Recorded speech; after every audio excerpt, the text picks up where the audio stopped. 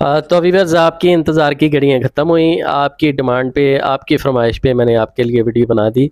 तो ऐसे बस जिन्होंने अभी तक मेरा चैनल सब्सक्राइब नहीं किया, फ़ौरी तौर पे मेरा चैनल सब्सक्राइब कर लें ताकि इस तरह की जो इन्फॉर्मेटिव वीडियोज़ हैं, उसके नोटिफिकेशन आपकी स्क्रीन तक पहुँचते रहें और आप उनसे फ़ायदा हासिल करते रहें। अस्सलाम वीवर्स उम्मीद करता हूँ कि आप सब लोग बिल्कुल खरीय से होंगे और हर तरह से भरपूर अपनी लाइफ को इंजॉय कर रहे होंगे। आ, मेरी अल्लाह ताला से दुआ है कि आप हमेशा से हँसते मुस्कुराते रहें खुश खुरम रहें और अपनी लाइफ को भरपूर इंजॉय करते रहें। सबसे पहले मैं आ, अपने वीवर्स का शुक्रिया अदा कर, करना चाहता हूँ कि जो मेरे चैनल के साथ जुड़े हुए हैं और आ, मेरी वीडियोस को देखते हैं अच्छे अच्छे कमेंट्स करते हैं वीडियोस को लाइक करते हैं और दूसरे दोस्तों के साथ शेयर करते हैं। ये आप लोगों की मोहब्बत है। और कुछ दिनों से मैं देख रहा हूँ कि कुछ लोग मुझे बहुत ज़्यादा ईमेल्स कर रहे हैं कुछ व्हाट्सएप पे मैसेजेस कर रहे हैं और कोई डायरेक्ट जो है मुझे कॉल करके मुझसे क्वेश्चनिंग कर रहे हैं। तो ये सब आप लोगों की मोहब्बत है, मुझसे हुसन सलूक है, जो आप जो है ना मेरे साथ जुड़े हुए हैं, मेरे चैनल के साथ जुड़े हुए हैं और मुझसे मोहब्बत करते हैं। तो बीबस सबका मैं शुक्रिया अदा करता हूँ, भरपूर शुक्रिया अदा करता हूँ। तो ईमेल पे या कमेंट्स के ज़रिए या मुख्तलिफ़ कॉल्स के ज़रिए मुझे क्या मैसेजेस मौसू होते हैं?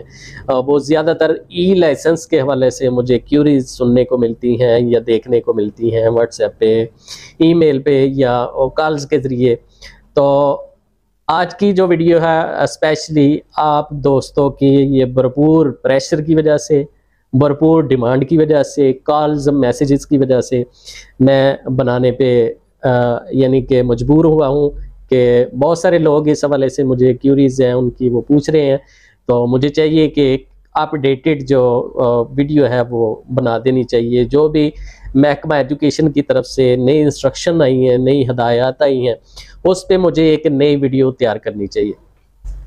तो अभी मैं आपके साथ मुकम्मल डिटेल शेयर करता हूँ। ये मैंने एक फ़ाइल तैयार की है। मैं चूँकि आपको पहले भी बता चुका हूँ कि मैं एक प्राइवेट स्कूल का ओनर हूँ और आ, मैं ई लाइसेंस जो है ना इसके लिए अप्लाई किया हुआ था। ठीक है? ऑनलाइन जो है ना मैंने अप्लाई किया हुआ था। इससे पहले भी मैंने कई दफ़ा वो रीन्यू करवाया है। तो इस प्रोसेस का मुझे पता है तो मैंने कहा चले अपने दोस्तों से भी शेयर करते किसी और का भी भला हो सके। क्योंकि इंसानियत इसी चीज़ का नाम है, किसी के काम आना। मेरा हालाँकि मकसद इस चैनल पे ऐसी वीडियोस बनाना नहीं है। आपको पता है कि मेरा टेक का चैनल है। लेकिन ये आप लोगों की मोहब्बत है, आप लोगों की डिमांड है, आप मुझसे डिमांड कर रहे हैं तो मैं ये वीडियो बनाने पे मजबूर हुआ हूँ। तो ये मेरे पास फ़ाइल है, ये मैंने महकमा एजुकेशन में जमा करवाई। ये बिल्डिंग फिटनेस सर्टिफिकेट है। उसके बाद जो है ना, ये हाइजेनिक सर्टिफिकेट है।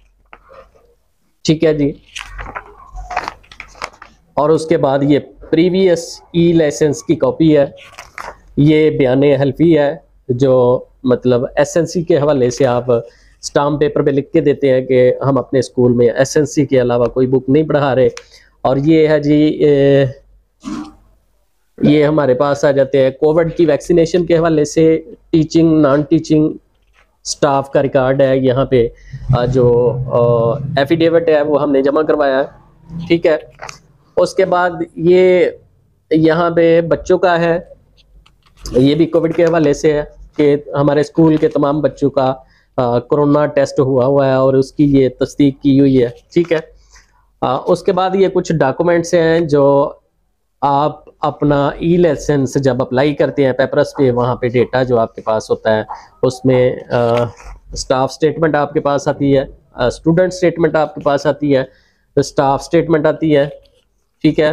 स्टूडेंट की एनरोलमेंट सॉरी उसमें आ, बच्चों की तादाद क्या है? क्लास वाइज एनरोलमेंट जो है वो क्या है? और स्टाफ की स्टेटमेंट इसमें आ, उनकी क्वालिफिकेशन क्या है? या उन आ, उनकी सैलरी क्या है? उनकी तकर्री डेट क्या है? और उसके बाद ये मैंने वैसे जो है ना ये रखे हुए हैं इसके अंदर के वहाँ एजुकेशन डिपार्टमेंट में जब जाते हैं जमा करवाने के लिए तो बहुत सारी चीज़ें होती हैं जो वो रिटर्न में देना पड़ती हैं, कोई एप्लीकेशन लिखना पड़ती है तो ये लेटर पैड मैंने दो चार अजाफी रखे होते हैं ताकि वहाँ जब कोई इस तरह की वो कोई चीज़ पूछते हैं तो उसके अंदर फौरी तौर पर लिख के तो उनको जमा करवा दिया जाए। ठीक है जी? उसके बाद ये बैंक चलान है, जो फ़ी जमा करवाई है तो ये सारी की सारी चीज़ें हैं। जो मैंने ये फ़ाइल मुकम्मल करके वहाँ पे लेके गया। तो आप अपने तौर पे जो सारी चीज़ें हैं, वो जब मुकम्मल कर लेते हैं तो वहाँ पे बाज़ दफ़ा ऐसे होता है कि मीटिंग होती रहती है, उसमें चीज़ें जो हैं वो डिस्कस की जाती हैं तो जो भी कोई नई चीज़ ऐड की जाती है, उसका एक नया स्केजुअल तैयार कर दिया जाता है। इसी तरह से मेरे साथ हुआ। मैंने पुराना जो शेड्यूल जारी किया हुआ था, उसके मुताबिक फ़ाइल तैयार की जब मैं जमा करवाने के लिए गया तो मुझे ये एक नया जो शेड्यूल है, वो मिल गया। Check list for e licence 2023 ठीक है जी प्राइवेट स्कूल डिस्ट्रिक्ट सियालकोट। ये इसमें सेवनटीन के करीब जो है, ये पॉइंट लिखे हुए हैं। सेवनटीन के करीब ये सारे के सारे पॉइंट मैं आपसे शेयर कर लेता हूँ। ताकि आप दोस्तों को मुकम्मल तौर पे ये पता चल सके कि इसके अंदर क्या क्या चीज़ें शामिल हैं। और नया जो स्केजुअल है, उसमें महकमा एजुकेशन ने किन किन चीज़ों का इजाफा किया है कौन कौन के डॉक्यूमेंट्स वैलिड है, और कौन कौन से वैलिड नहीं होंगे, ये सारे के सारी डिटेल जो है इस परफॉर्मे के अंदर या ये जो मुझे चेक लिस्ट दी गई है, इसके अंदर मौजूद हैं। तो ये मैं वन बाई वन आपसे शेयर कर लेता हूँ। तो आपने ये सारी की सारी जो कॉपीज़ हैं अटेस्टेड कॉपीज़ हैं, ये अपनी फ़ाइल के अंदर लगानी है और महकमा एजुकेशन को जमा करवानी है। तब जाके आपका ई लाइसेंस जो है, वो आपको मिल सकेगा। तो वीडियो को आपने बिल्कुल स्किप नहीं करना एंड तक देखना है ताकि आपको ये मुकम्मल इन्फॉर्मेशन मिल सके। और हो सके तो आप इसको कहीं पे राइट कर सकते हैं, अपने पास रिकॉर्ड के तौर पे महफूज कर सकते हैं। क्योंकि बाज़ लोग जो हैं फिर मैसेज के ज़रिए कमेंट्स करना अच्छी बात है अच्छे अच्छे कमेंट्स करें, अपना फीडबैक शेयर करें। अगर किसी को मसला होगा तो वो कमेंट के अंदर पूछ सकता है। मैं कमेंट के अंदर ही रिप्लाई भी कर देता हूँ। ये ज़्यादा बेहतर होता है कि अगर आप कमेंट के अंदर पूछते हैं, क्योंकि जब वीडियो की रेटिंग मैं देख रहा होता हूँ तो उसमें कमेंट्स को भी चेक कर रहा होता हूँ कि किस किस ने क्या क्या पूछा है तो मेरा फौरी तौर पे रिप्लाई करना ज़रूरी बनता है। तो वहाँ पे कमेंट्स के ज़रिए आप पूछ लिया करें। मसरूफियत होती है बाद दफ़ा व्हाट्सएप पे या ईमेल पे मैं रिप्लाई नहीं करता। तो ये जो कमेंट्स हैं, इनको मैं जल्दी देख लेता हूँ तो आप इस पर जो है ना मुझसे रबता कर लिया करें। किसी किस्म की क्यूरी हो, किसी किस्म का कोई मसला हो तो मैं आपका हल करने के लिए तैयार हूँ। जस्ट ये है कि इन्फॉर्मेशन मैं आपसे शेयर कर सकता हूँ। मैं ई लाइसेंस खुद बनाने का मतलब मेरी ज़िम्मेदारी नहीं है, ना ही मैं ये बनाता हूँ। तो आपने जस्ट ये गाइडलाइन लेनी है, जो मैंने वीडियो आपसे शेयर की होती है, उसे देखना होता है और आपने उसके मुताबिक अपने डॉक्यूमेंट्स तैयार करके ऑनलाइन करना होते हैं और महकमा को जमा करवाना होते हैं। उसके बाद आपको ई लाइसेंस जो है वो मिल जाता है। तो ये तमाम मालूम मैं आपसे शेयर करता हूँ। आपने मुकम्मल जो टॉपिक हैं वो नोट कर लेने हैं और इनको किसी डायरी पे आपने महफूज कर लेना है। Check list for e licence 2023 private school district Sialkot. For obtaining e licence of private school submit the following documents attested by school head to this office according to the order given below यानी कि ये सारे के सारे document जो school का head है उसने अटेस्टेड कॉपी इसकी जो है ना ये एजुकेशन डिपार्टमेंट में जमा करवानी है। फ़र्स्ट ऑफ़ ऑल आपका सी एन आई सी है ठीक है जो प्रिंसिपल है या ओनर है आ, उसने अपनी सी एन आई सी की कॉपी जमा करवानी है। उसके बाद बिल्डिंग फिटनेस सर्टिफिकेट है जो कि थर्टी फ़र्स्ट मार्च 2025 तक वैलिड होना चाहिए। आजकल आपको पता है कि दो साल का ई लाइसेंस इशू हो रहा है तो इसके लिए आपने फिटनेस सर्टिफिकेट भी दो साल का बनवाना है। अगर दो साल का नहीं बने तो एक साल का लाजमी आपने बनवाना है। उसके बाद ये नई चीज़ जो ऐड हुई है, तीसरे नंबर पे building map approved by TMA ये पहले नहीं थी अभी इसके अंदर शामिल की गई है। टीएमए से आपने अपनी बिल्डिंग का जो अप्रूव्ड मैप है, वो आपने उसकी कापी साथ अटैच करनी है। उसके बाद नंबर फोर पे hygienically certificate that must be valid till thirty first March twenty twenty five ये भी आपने इकतीस मार्च तक जो वैलिड है हाइजेनिक का सर्टिफिकेट है, ये आपने साथ अटैच करना है। हाइजेनिक का सर्टिफिकेट जैसे पहले बनता था, वैसे ही आप बनाएँगे। ये महकमा एजुकेशन के अंदर जो भी कोई इस डिपार्टमेंट को देखता है मुतल डिपार्टमेंट में आप जाएँगे, वहाँ पे आप अपना बिल्डिंग फिटनेस सर्टिफिकेट देंगे, या जो भी रिक्वायरमेंट है वो उनको जमा करवाएँगे तो वो आपको हाइजेनिकली सर्टिफिकेट इशू कर देंगे। पांचवा जो पॉइंट है proof of ownership of building registry फर्द updated rent agreement, in which clearly mentioned school name and valid date आपकी जो बिल्डिंग है, उसकी रजिस्ट्री या फ़र्द होना चाहिए, या फिर आपने अगर रेंट पे बिल्डिंग ली है तो उसका रेंट का जो फ्रेश एग्रीमेंट है, उस पर स्कूल का नाम और डेट भी मेंशन होनी चाहिए। ठीक है? तो पॉइंट नंबर सिक्स है, इसमें क्लास वाइज एनरोलमेंट है, जो आपके स्कूल में अगर प्राइमरी स्कूल है तो पीजी से लेके फाइव तक लड़के और लड़कियों की तादाद लिखनी है। अगर आपका मिडल तक स्कूल है तो आपने मिडल तक लड़के और लड़कियों की तादाद लिखनी है।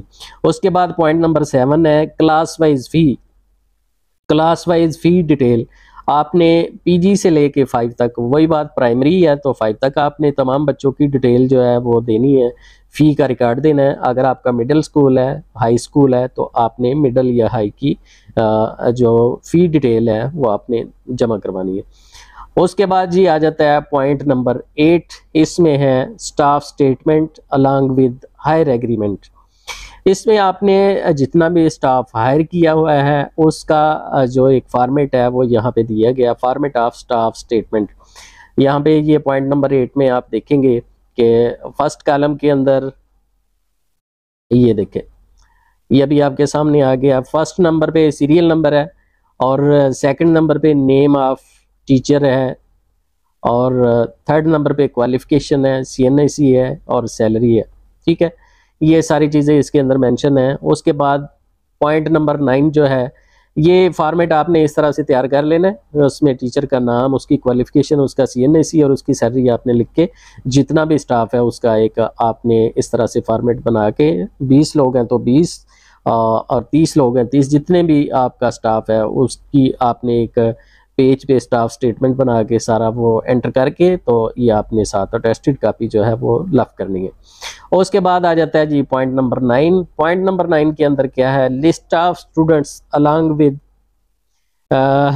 sorry यहाँ पे परसेंटेज आना था इन्होंने पेरेंटेज लिखा है इसको दुरुस्त फरमा लिया contact number and verified fee voucher who got admission under ten percent fee and compulsory education act two thousand fourteen अच्छा जी ये आपको बताया जा रहा है कि 2014 के अंदर एक एक्ट जो है एक ला बनाया गया था कि हर स्कूल के अंदर आ, ये ज़रूरी करार दिया गया है कि 10 फ़ीसद आप ऐसे बच्चे जो गरीब हैं उनको एजुकेशन देंगे। तो ये उस चीज़ का रिकॉर्ड आपकी आपसे मांगा जा रहा है।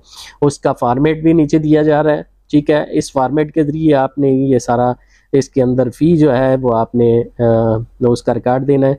नेम ऑफ़ स्कूल यानी कि किस स्कूल में बच्चा पढ़ता है। उसके बाद टोटल एनरोलमेंट अपने स्कूल का नाम लिखना है और टोटल एनरोलमेंट टोटल वो बच्चे आपने जो है ना इसके अंदर आ, मसलन 100 में से अगर 20 बच्चे हैं या 10 परसेंट है तो 10 बच्चे हैं। उन यहाँ पे आपने एनरोलमेंट के अंदर तादाद लिख देनी है। उसके बाद number of students fee in 10 percent पहले तो आपने टोटल बतानी है, फिर उसके बाद 10 परसेंट वाली रेशो बतानी है। टोटल एक्सपेंडिचर यानी कि टेन परसेंट पे आपका कितना खर्च आ रहा है, वो आपने यहाँ पे लिखना है।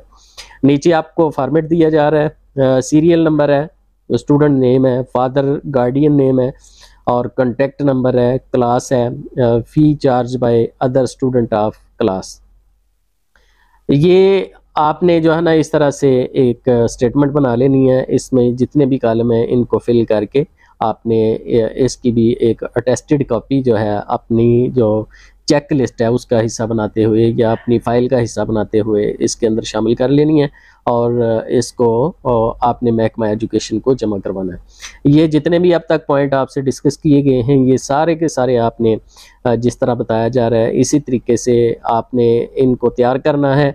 स्टाफ स्टेटमेंट तैयार करनी है या फिर जो भी ये फ़ी का रिकॉर्ड है, वो आपने तैयार करना है, इन चीज़ों को तैयार करके तो आपने खुद ही अपने स्कूल के स्टैंप लगानी है और सिग्नेचर वगैरह करने हैं प्रिंसिपल के साइन कराने हैं तो इसके साथ आपने लफ करनी है। उसके बाद आ जाता है जी point number ten point number ten के अंदर क्या है? Certificate of observing COVID nineteen S O Ps आपने कोविड नाइन्टीन के हवाले से teaching non teaching and students इन तमाम का रिकॉर्ड इकट्ठा करना है। आपको पता है कि कोविड के अंदर कुछ स्कूलों ने ई लाइसेंस लिए। कोविड के बाद भी ये अभी तक जो है ना वो पॉलिसी के अंदर उन्होंने शामिल किया हुआ है कि आपका जितना टीचिंग स्टाफ है उसके वैक्सीनेशन के कार्ड उनका रिकॉर्ड, नॉन टीचिंग का रिकॉर्ड और स्टूडेंट्स का मुकम्मल रिकॉर्ड ये महकमा एजुकेशन के पास होना चाहिए, उनको जमा करवाना है। तो आप अपने लेटर पैड पे जो है ना टीचिंग स्टाफ, उसका सारा जो है ना वो कितने हैं और इनकी वैक्सीनेशन हुई है तो वो उसका एक फॉर्म फिल करके आपने लेटर पैड पे ये स्कूल की स्टैंप लगा के दे देंगे। नॉन टीचिंग का भी इसी तरह उसी में मेंशन करना चाहते हैं तो उसी में मेंशन कर लें। अदरवाइज़ आप जो है ना अलग अलग से तीनों का टीचिंग का नॉन टीचिंग का और स्टूडेंट्स का अलग अलग से भी रिकॉर्ड बना सकते हैं और उसको आप स्टैंप से वेरीफाई कर देंगे। उसके बाद पॉइंट नंबर इलेवन है जी affidavit recording teaching books of single national curriculum SNC आपको पता है कि टू थाउज़ेंड से ये सिंगल नेशनल करिकुलम को फॉलो किया जा रहा है तो इसके मुताबिक जो है ना, आपने अपने स्कूल के अंदर जितना भी सिंगल नेशनल करिकुलम की बुक्स हैं, उनका रिकॉर्ड एक एफिडेविट के तौर पे, एक बयान अल्फी के तौर पे कचहरी से एक स्टाम मिलेगा, वो आपको महकमा एजुकेशन वाले बता देंगे कि वो कितने वाला आपने स्टाम यूज़ करना है। मैंने वैसे 150 वाला यूज़ किया था, उन्होंने ही बताया था तो उसके अंदर ये मैंने सारे के सारा रिकॉर्ड एफिडेविट के तौर पे वो दे दिया था कि मेरे स्कूल के अंदर जितनी भी बुक्स हैं, वो एसएनसी के मुताबिक हैं। तो ये आपने जो कॉपी है इसकी या असल जो है एफिडेविट फॉर्म वो आपने साथ लफ करना है और जमा करवाना है। उसके बाद आ जाता है जी point number twelve if any book helping book is being taught other than S N C then attach copy of N O अगर आपकी कोई ऐसी बुक है जो सिंगल नेशनल करिकुलम के मुताबिक नहीं है तो वो जाहरी बात है पीसीटीबी ने उसे अप्रूव किया होगा। तो वो जो अप्रूव की हुई है, जैसे हेल्पिंग बुक है तो हेल्पिंग बुक आपको पता है कि एसएनसी के सिंगल नेशनल करिकुलम के अंदर नहीं आती। वो एक सप्लीमेंट्री रीडिंग मटेरियल के तौर पे यूज़ होती है। तो आप उसे जो है ना वो उसका एफिडेविट या कोई उसका जो एन ओ सी या अदारा जो बुक्स बनाने वाला है, उससे जो है ये आप लेके तो साथ उसको भी अटैच करना है। जैसा कि अफाक एक पब्लिशर है, उसने सारी की सारी जो बुक्स है, उसके पीसीटीबी के एनओसी अपनी वेबसाइट पे अपलोड कर दिए हैं। इसी तरीके से और भी अदारे जिन्होंने एनओसी लिए होंगे, वो उनके एनओसी जो है ना मौजूद होंगे, आप उनसे लेके आप ये साथ लव कर सकते हैं।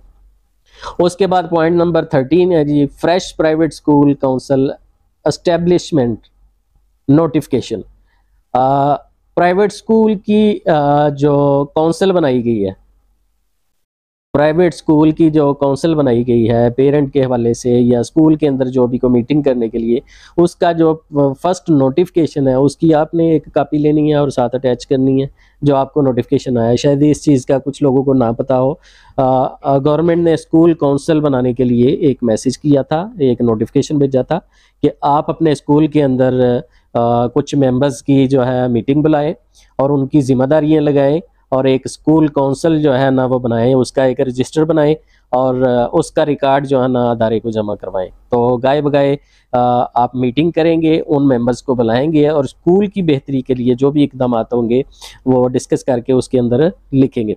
उसके बाद आ जाता है जी point number fourteen school council meeting held in recent month of 2023 duly signed by all members तो ये स्कूल काउंसिल जो आपने एक मीटिंग की है, जिस मंथ में की है और उसके साइन शुदा जो मतलब एक मीटिंग का फॉर्म आपने, वो भी इसके साथ जो है ना, वो अटैच करना है। वो मीटिंग का एक फॉर्म लेना है, उसको टेस्ट करना है और साथ लफ करना है।